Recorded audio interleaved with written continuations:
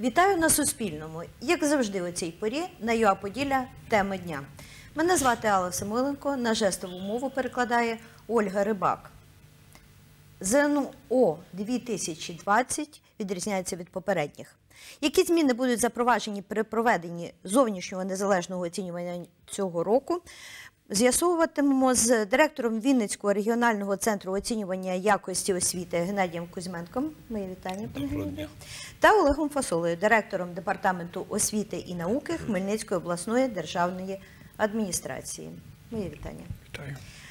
15 червня почалося пробне тестування. Однак не всім вдалося його вдало пройти. Пропоную переглянути сюжет, який ми відзняли у цей день.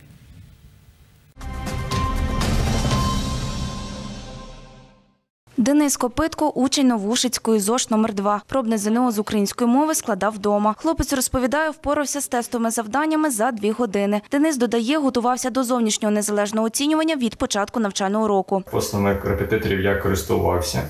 І я витрачав около 2-3 годин в день на підготовку. Денис складатиме основне ЗНО з української та англійської мов, математики та історії України. Сьогодні каже, технічних проблем не було. Вдалося одразу зайти в особистий кабінет на сайті Вінницького регіонального центру оцінювання якості освіти. Напевно, є лише один мінус те, що я не відчую атмосферу проведення цього екзамену.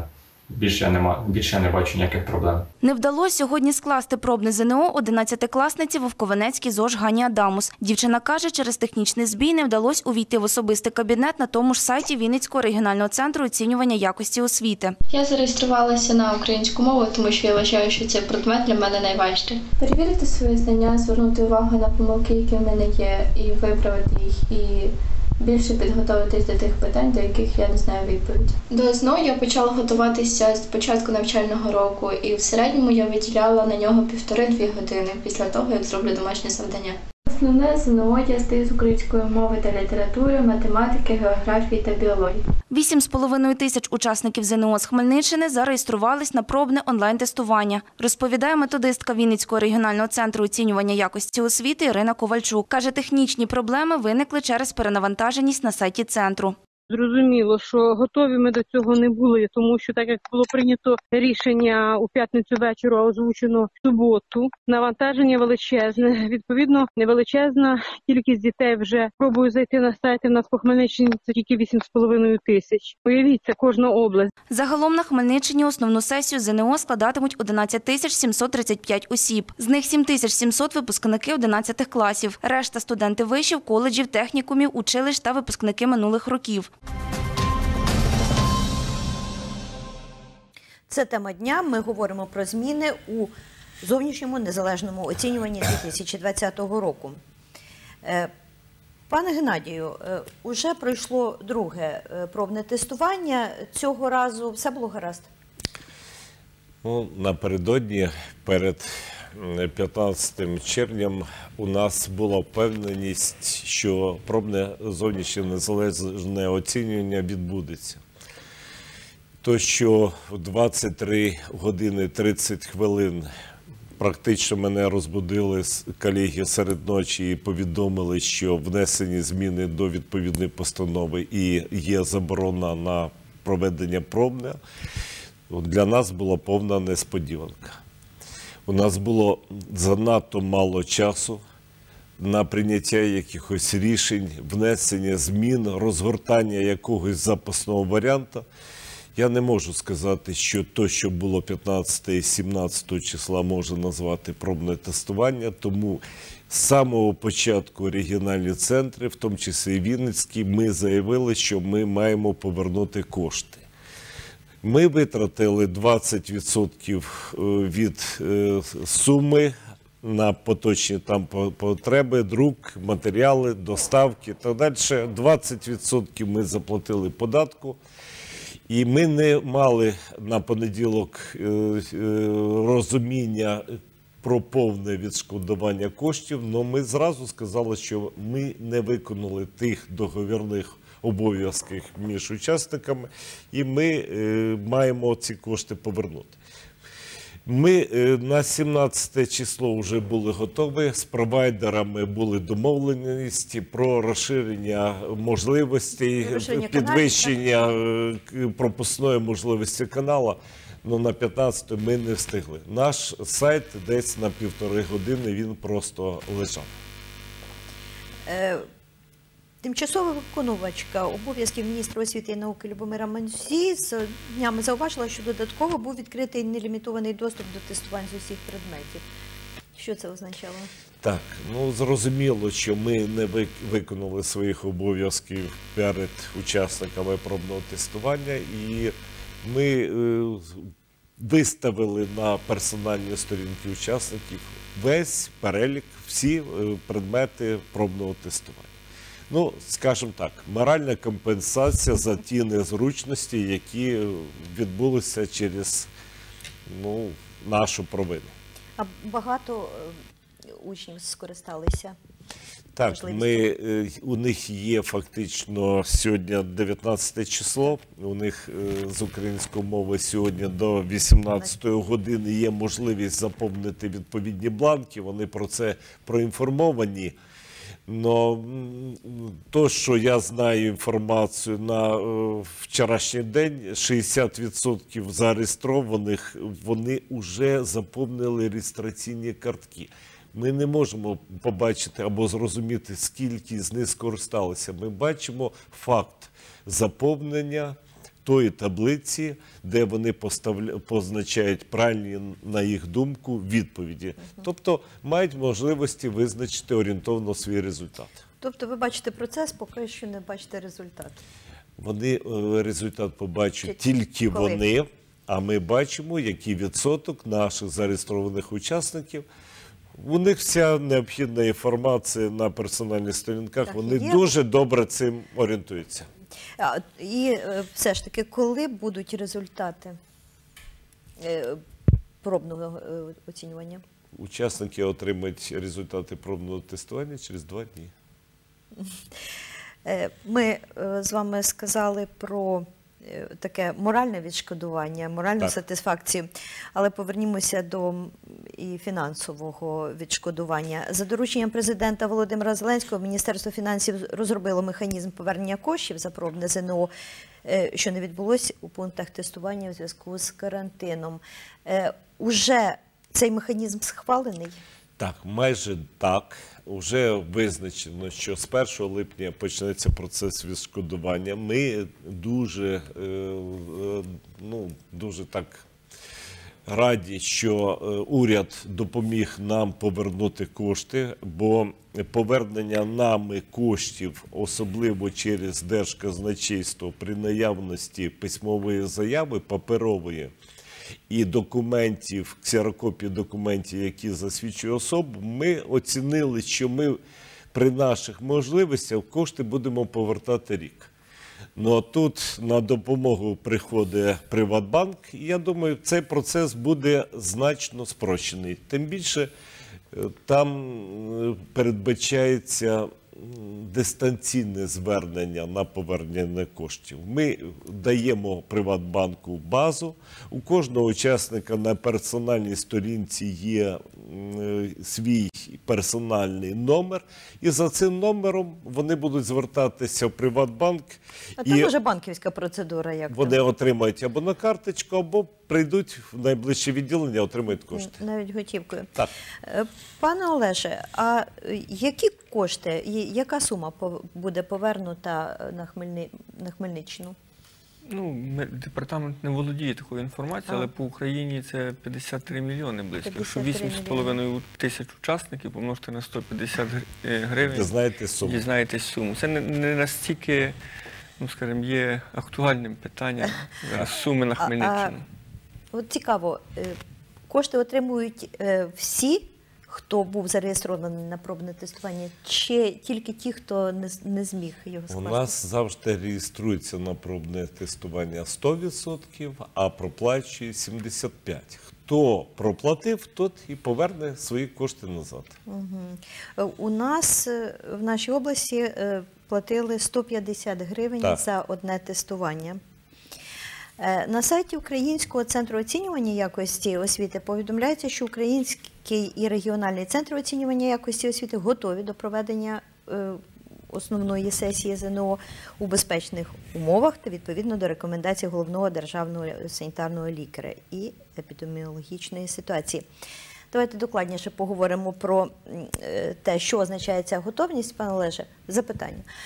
В нашій області пункти готові?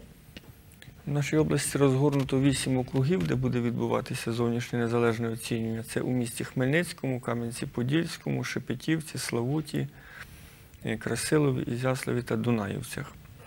Е, Відповідно, буде е, функціонувати 46 пунктів зовнішнього незалежного оцінювання. Карантин, звичайно, вніс в роботу організаційну цих пунктів, адже крім дотримання власне процедури проведення зовнішнього незалежного оцінювання, долучилися ще й певні е, антиепідемічні процедури, яких не, Обмеження. і процедури, яких необхідно дотриматися. Розкажіть. Е, Це власне дотримання дистанції, це проведення, е, скажімо, санітарної обробки приміщень, дезінфекція рук, це одноразові медичні маски. На сьогодні Міністерство освіти через донорів долучилося до цього процесу, і область отримала і вже на вісім регіонів розподілила більше трьох тисяч літрів дезінфікуючих засобів для обробки рук, е, більше 800 літрів е, дезінфікуючих засобів для обробки е, поверхонь, 356 е, е, захисних щитків і масок для медичних працівників, які будуть здійснювати температурний скринінг е, при вході на пункти тестування, та 92 е, пірометри, якими власне буде цей скринінг здійснюватися, а також більше 100 тисяч е, одноразових медичних масок, які сьогодні і завтра будуть вже на всіх 46 пунктах тестування. Тобто, Тобто маски фактично- будуть видаватися Так, усім, маски хто прийде? будуть видаватися усім учасникам, які прийдуть і будуть брати участь у зовнішньому незалежному оцінюванні. Хотів би наголосити, що вчора Верховна Рада прийняла закон, який внесли е, певні зміни у освітній процес. І на сьогодні учасники здобувачі освіти, які здобувають повну загальну середню освіту, мають право вибору е, державної підсумку участі у державній підсумковій атестації у формі зовнішнього незалежного оцінювання. Воно е, зовнішнє незалежне оцінювання залишається обов'язковим для тих, хто планує вступати до вузів, але є за вибором для тих, хто не планує вступати, але, але має отримати про- свідоцтво про повну загальну середню освіту. Власне, цей закон, е, прийняття цього закону і розробка інших нормативних актів зменшить е, прогнозуємо кількість учасників на пунктах тестування, що буде сприяти покращенню такої протиепідемічної, скажімо, ситуації, дотримання відстани і певних скупчень людей.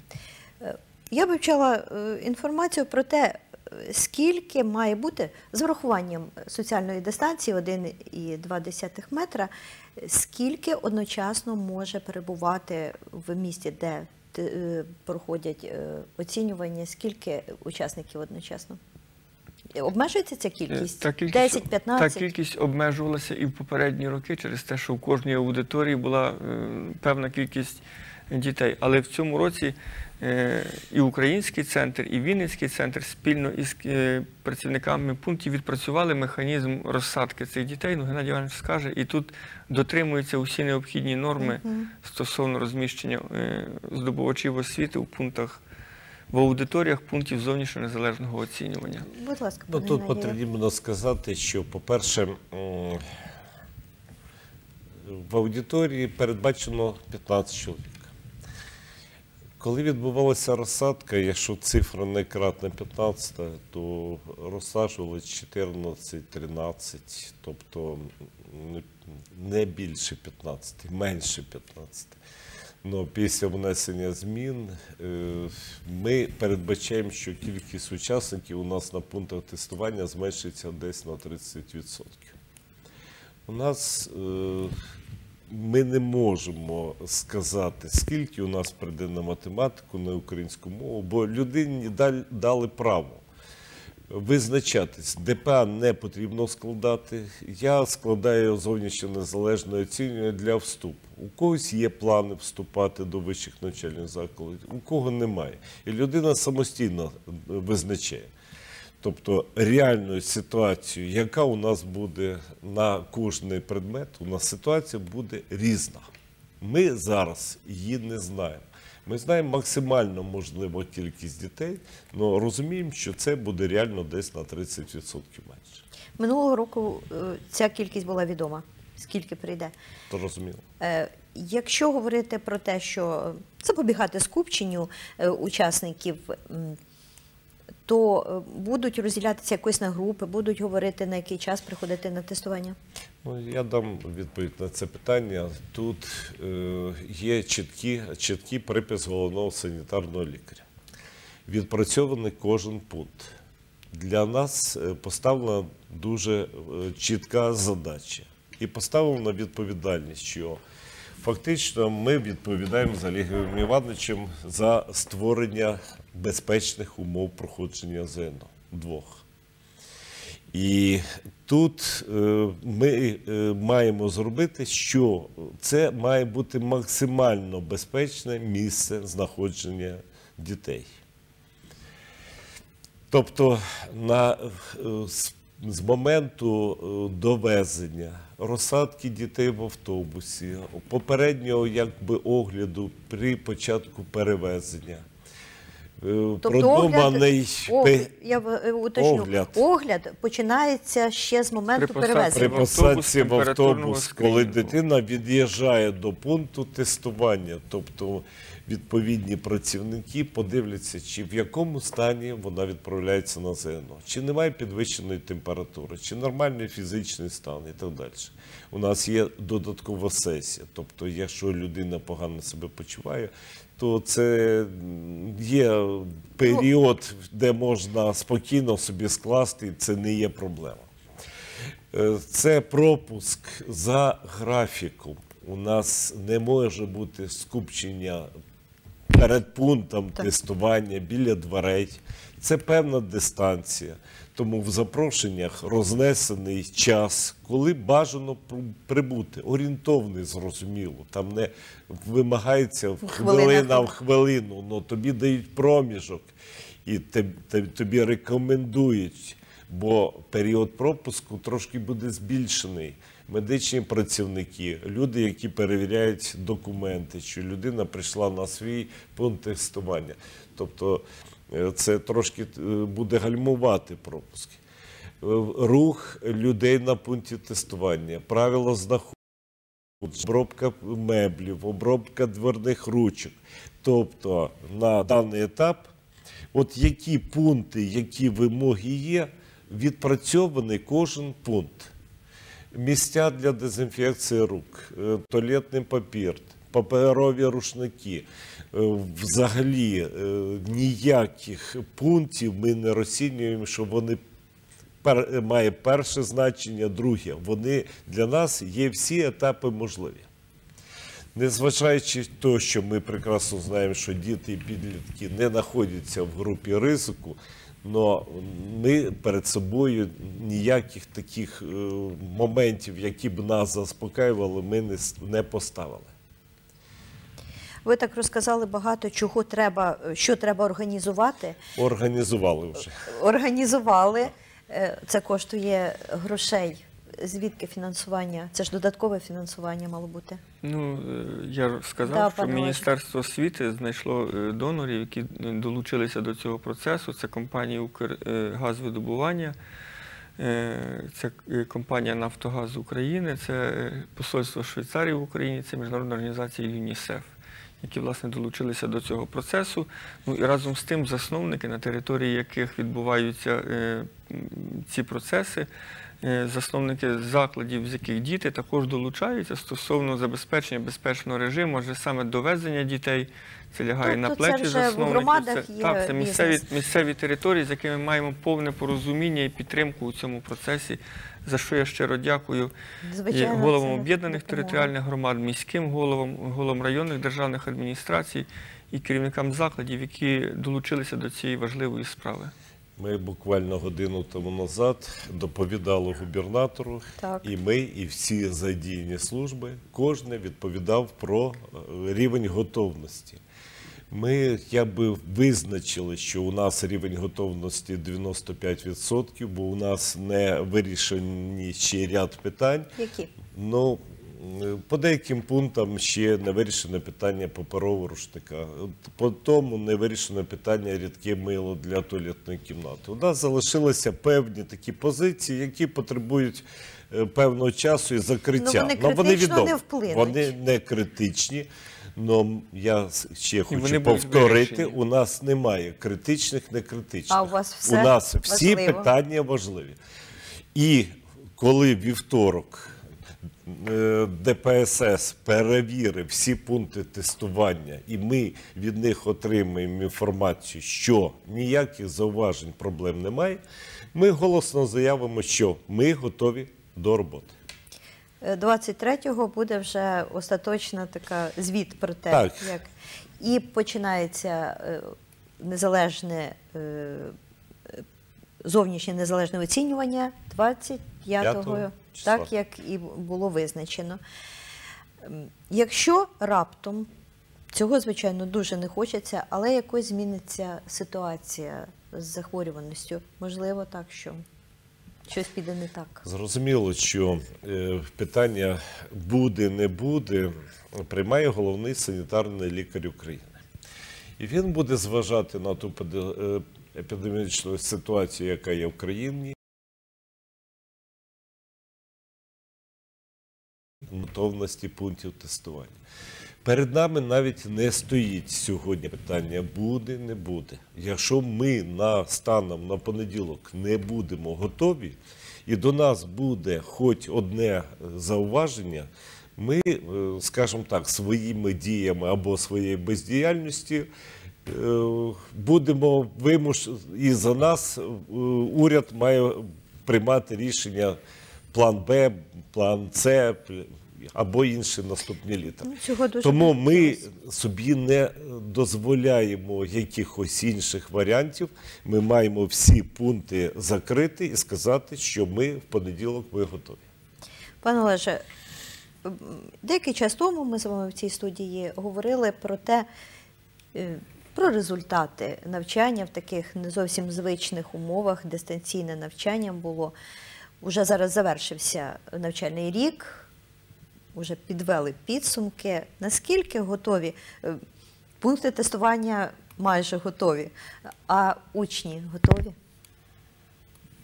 Я думаю, що учні готові е, до е, складання зовнішнього незалежного оцінювання, адже от навіть те невдоволення, е, що не відбулося пробне ЗНО, говорило про те, що вони хотіли спробувати свої сили Да, і, і хочуть стати дорослими, вступивши до вищих навчальних закладів, отримавши атестати про освіту. Звичайно, умови складні, в яких це має відбуватися, але маємо згуртуватися і спільно І побороти всі побороти складнощі. всі негаразди і всі складнощі. Е, Дякую вам, панове, за те, що ви прийшли і розповіли нам про е, ті особливості, які будуть запроваджені нині. Е, Під час зовнішнього незалежного оцінювання нашим е, учням і тим, хто буде проходити тестування, побажаємо успішно його Так. скласти і всім не хворіти. Наш час в етері завершується. Я вам бажаю гарних вихідних. Бережіть себе. Побачимося в темі дня. Дякую, що ви дивитесь Суспільне.